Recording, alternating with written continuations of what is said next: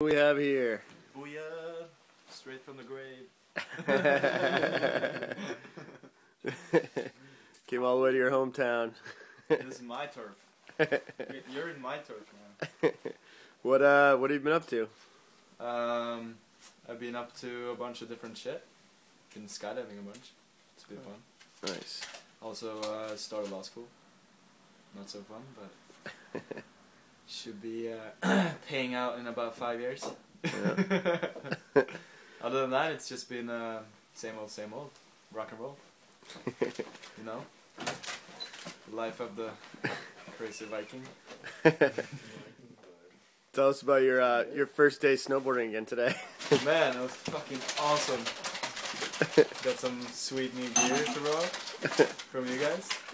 Thanks for that. Um, yeah, you know, being stuck in a study hall all day builds up this like kind of frustration. And um, it was a good kicker today, so I let it all out. It was good. Even won an award. Check it out. Check it out. This is what this is what you get when you chuck some meat in Norway. It could be dollars.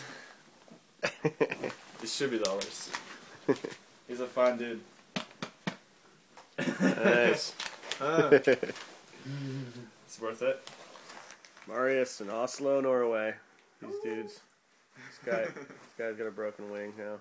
Yeah. Broken wing. Yeah.